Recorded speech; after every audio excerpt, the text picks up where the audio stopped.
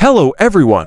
Today we're going to discuss an exciting and innovative housing option for those looking to expand their homes while also saving money on property taxes.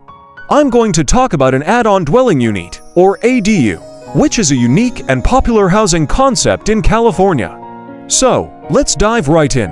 ADUs, or add-on dwelling units, are an addition to a primary residence, usually a single-family home. They allow homeowners to create a separate living space that is completely separate from the main house, but still connected to it. This can be a perfect solution for families with children, elderly parents, or anyone who needs an extra space for work, school, or leisure activities. To build an ADU, you first need to determine the size and layout of the space you need.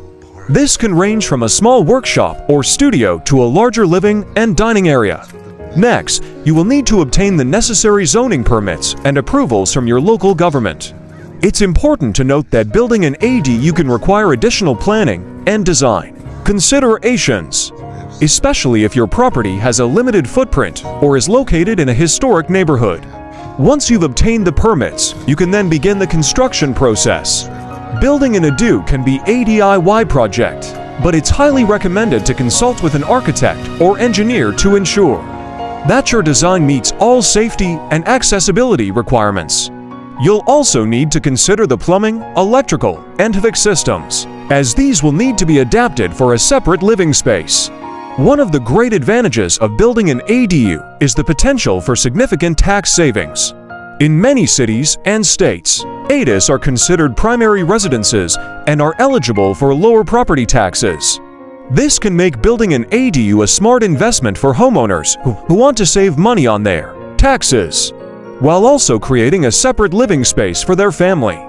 In conclusion, building an add-on dwelling unit, or ADU, is an innovative and popular housing option that offers many benefits for homeowners.